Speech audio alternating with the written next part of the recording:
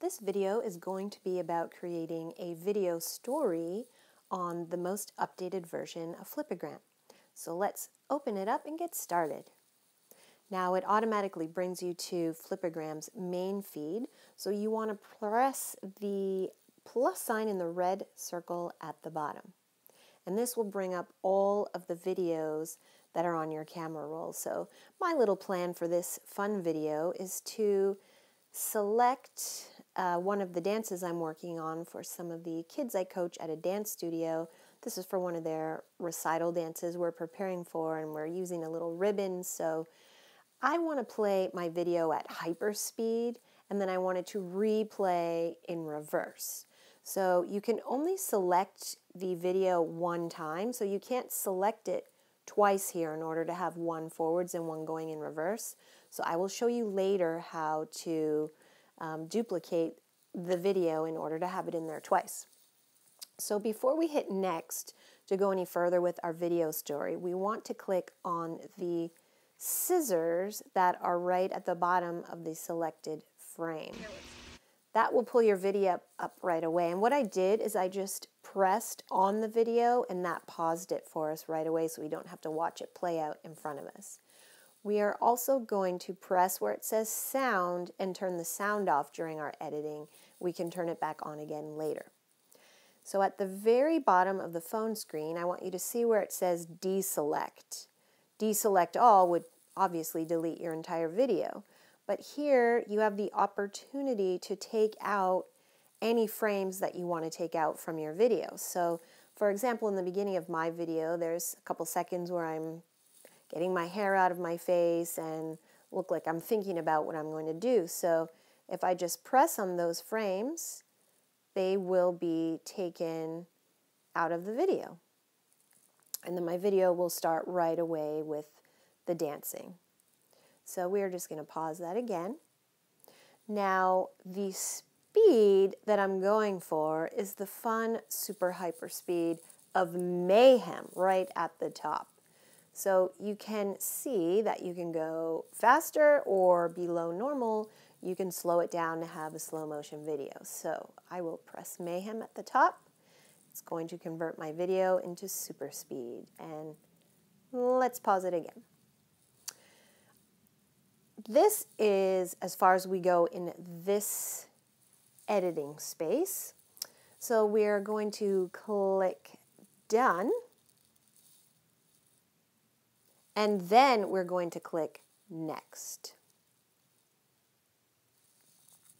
Here I'm going to press the video to pause it once again so that it's not spinning around the whole entire time. On the very bottom, the bottom right, you see where it has Edit. That's where we're going to go next. So click on the Edit. And then within here, we are going to click on the scissors on the bottom of our frame. And once your video opens up here, we'll press it to pause it again. And it's not going to pause on us in this place in time, but in the far bottom left, you see where it says text. You can click that and add text on top of your video. We're not going to do that today, but you have the option of many different types of fonts, and by pressing on the circle, you have the option of many different colors.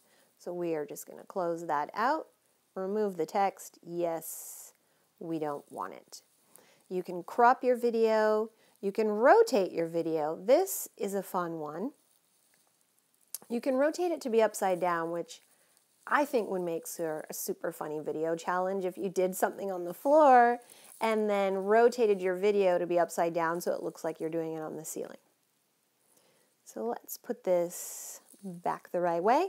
Now here's where we get to add another video in order to have it play again where we can then edit it to put it in reverse and that's by clicking duplicate.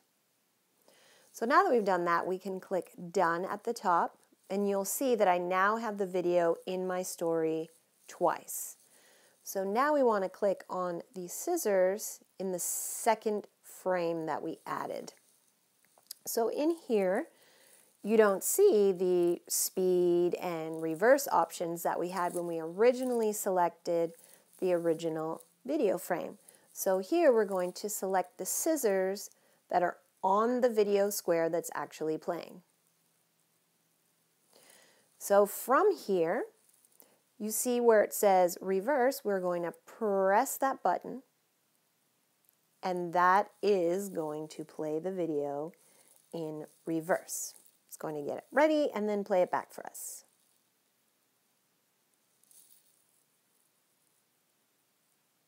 Now that's done, you can see me going backwards.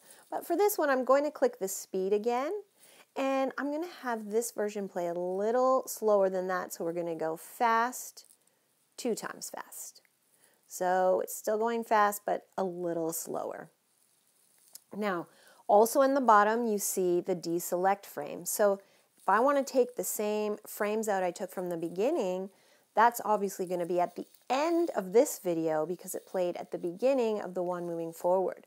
So I will have to slide my frames all the way over in order to deselect the few frames that were at the beginning from the last one. Now we will click done here. Done. So next what we are going to do is done. And now we're going to do some more fun editing on this video here. I just clicked to pause it again. What we're going to do is we're going to draw on our video. We're going to use the paintbrush option. If you press on that, there are a lot of uh, different ways and styles you can draw. For now, we're going to use the paintbrush and I'm going to select purple. And what I'm going to do is just draw on my photo some curtains because dancers love to dance on stage with curtains and we're just going to color those in. I'm just doing this with my finger. You have a nice stylus that will make even better. And then what is a pretty little ballet dance without a bit of pink? So I'm going to select the pink color and do a little bit of pink shading on top of my purple curtains. You're going to see how cool this looks later. And I'm going to show you how to use one of the other draw features. So by clicking on our paintbrush, all the way on the bottom you see the happy face. Press on that and that is going to bring up many, many emojis and fun things you can add. We are going to click on the rose here because what dancer doesn't love to get flowers? That's what you do. You give dancers flowers after their big show. So you just click on your video wherever you would like the flowers to be. And then we're going to select done. Now look at what happens. It's a fancy show. Everything is flashing and pulsating, and it's just extra special with what Flipagram has done. Now, beside the draw, we have effects. So we click on that. We're going to pause the video once again.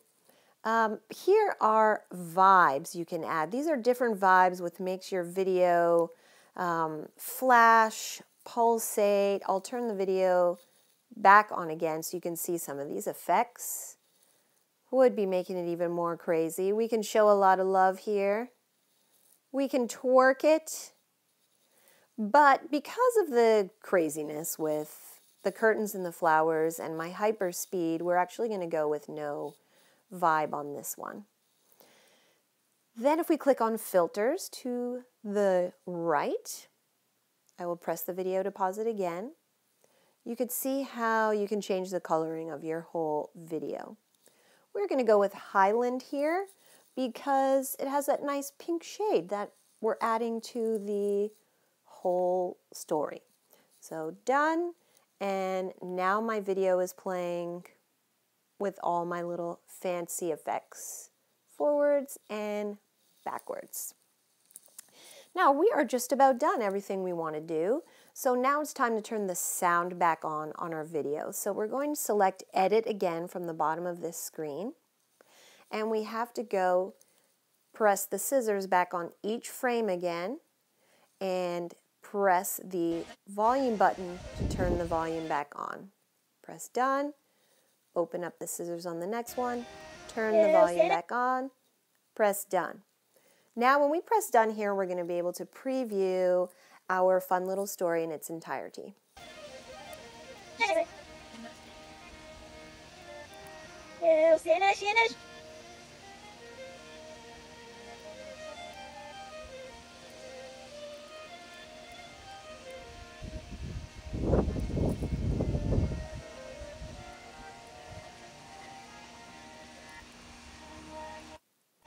And there we go. Now we'll press next at the top and it is time to get ready to share our video story. If you tap where it says tap to add title, this is where you're going to add the title that is going to appear on top of your video as it displays in Flipagram's feed. I'm going to call this one Dancing in Circles. And let's get the eye back in, in and press done. All the way down at the bottom, you see the square highlighted in red. This is where you can actually change what is going to be the thumbnail image that shows in the home feed as, as people grow, scroll through to look for different videos to watch. So let's say we're going to select it to be this little move here. At the top where it says new post, we'll press on that. You have two choices. Post it out there for all of your followers to see or the one below hidden, only visible to those with the link. If you press that one, it's going to upload directly to your profile page and it will only be there visible to you or anyone else that you've sent a link to. And from there, you can also choose to save it to your camera roll. If you select the top option, visible to your followers, as soon as you press post, it is going to go directly into the feed. So we're not actually going to post or save this video because it was only for tutorial purposes and fun.